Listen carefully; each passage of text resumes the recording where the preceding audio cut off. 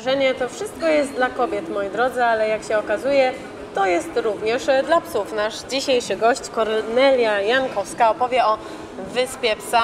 To jest magiczne miejsce, w które zabieramy naszego pupila i tam totalna odnowa naszego psa wychodzi. Ekstremalna metamorfoza. wygląda, tak, metamorfoza.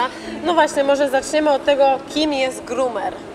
Groomer to psi fryzjer, osoba zajmująca się pielęgnacją psów, także kąpiele, strzyżenie, przecinanie pazurków, e, oczyszczanie psich uszek. To jest właśnie, to jest właśnie groomer. To jest właśnie E, groomer. Tak, dokładnie. Wyspa Psa. Od kiedy funkcjonuje tutaj na naszym poznańskim e, rynku? E, Moja firma już istnieje od ponad trzech lat. E, I skąd w ogóle pomysł na założenie czegoś takiego? Bo teraz coraz więcej faktycznie jest takich e, miejsc w Poznaniu, gdzie możemy wybrać się z naszym e, pupilem, ale kiedyś, myślę, że trzy lata temu było, to, było to zupełną nowością. Aż, aż taką nowością może nie. W ogóle wszystko zaczęło się o, oczywiście od miłości do zwierząt, do psów. Także od, od czasów mojego dzieciństwa bardzo kochałam psy, zawsze przygarniałam wszystkie, wszystkie możliwe psie przybłędy. E, oprócz tego pracowałam e, w schronisku dla, dla psów jako wolontariusz. E, także wszystko właściwie zaczęło się już bardzo dawno temu. I, i po pewnym czasie pracowałam w, na etacie, tak? E, I, i, i postanowiłam jakoś tam zmienić tą, tą swoją e, zawodową karierę. I, i, i, I pójść za, za dokładnie, pasją po dokładnie, dokładnie, dokładnie, Ale tak? czy, było, czy to było tak, że ten e, pomysł e, właśnie Wyspy Psa gdzieś tam został zaczerpnięty z zagranicy, czy już widziałaś, że tego w Poznaniu po- brakuje, dokładnie, czy, dokładnie. czy pojawia nie, się? szczerze mówiąc było to tak, że zauważyłam w Poznaniu salonik strzyżenia psów i pomyślałam, że byłoby to naprawdę mm, wspaniałe rozwiązanie dla mnie, ponieważ kocham psy, tak? E, I ich wiązałam jakby z, z pracą z nimi mm, przyszłość. E, trochę poszukałam w internecie, e, rozejrzałam się w, w właśnie takich branżowych, o takich branżowych pismach i, i, i, i znalazłam y, kurs y, strzyżenia psów y, w Łodzi. No właśnie, I tam bo, właśnie się zapisałam Bo i- Gdzie uczyć się tak e, niezwykłego zawodu? Są szkoły psiego fryzjerstwa w Polsce, są też za granicą. No ja, był, ja akurat byłam na kursie strzyżenia psów, który po prostu odbywał się w Łodzi. Jak Też- długo trwa taki kurs? To jest Kurs- e, kilka wyjazdów? e, Kurs trwa tydzień, e, a właściwie 6 dni, bo bez niedzieli. E, Na początku oczywiście uczymy, uczyliśmy się teorii. e, Z każdym następnym dniem jakby dokuczano nas bliżej psa, czyli najpierw rozczesywanie kołtunów, najmniej miłe zajęcie w saloniku. E, Kąpiele, tak, suszenie, no i, i praktyka, czyli również strzyżenie, bo to jest właściwie naj, najważniejsze i najtrudniejsze w tym zawodzie.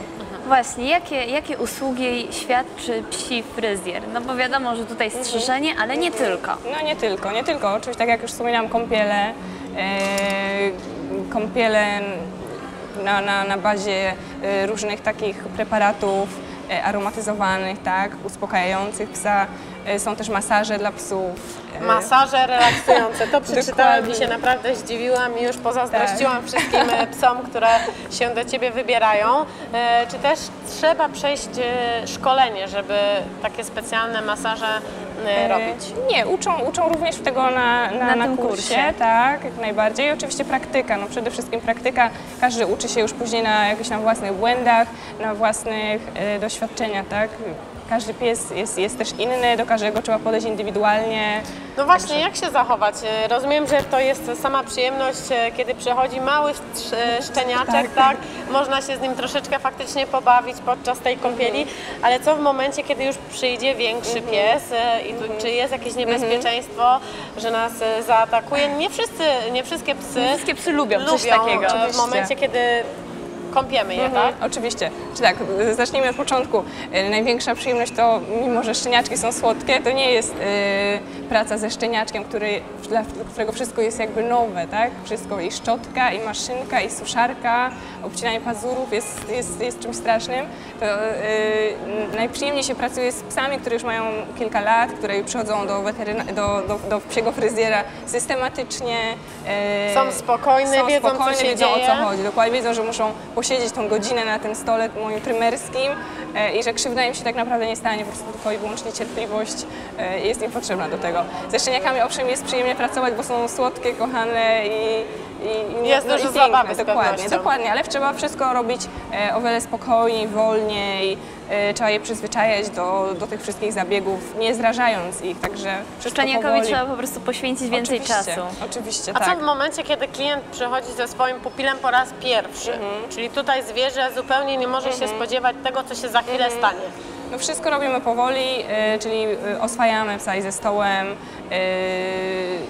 nie, nie robimy nic na siłę przede wszystkim. Rozmawiamy z psem, uspokajamy go głosem, dotykiem. I właściciel zawsze może być nie, obok. absolutnie nie. Nie, nie. Właściciel, właściciel właśnie często rozprasza psa, przemawia do niego mimo, i, i, i pies zamiast skupiać się jakby na mnie, łapać ze mną kontakt, e, szuka ratunku w ramionach właściciela. Nie o to nam chodzi.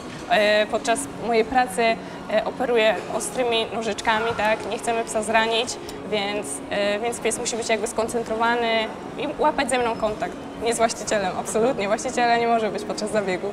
A kto przede wszystkim odwiedza psiego fryzjera? Czy są to pieski rasowe, czy może kundelki? No przede wszystkim rasowe i przede wszystkim jorczki, najmniejsze pieski tak shih tzu, e, pudelki, cocker spaniele, takie wszystkie raczej długowłose.